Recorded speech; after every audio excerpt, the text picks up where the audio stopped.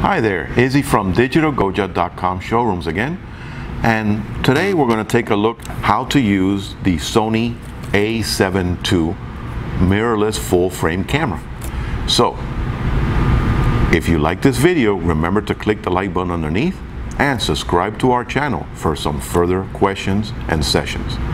And any comments or questions, please leave below.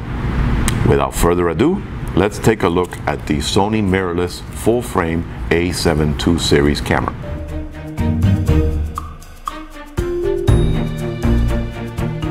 Is the screen on my new Sony a7 II series mirrorless a touchscreen?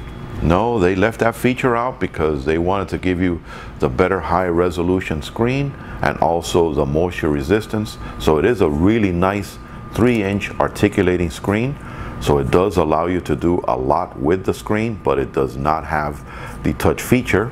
But honestly, there's some of us old school guys that are used to doing everything on a wheel or on a button, and they gave you plenty of different dials to be able to customize the way you use the camera. But no, it is definitely not a touchscreen.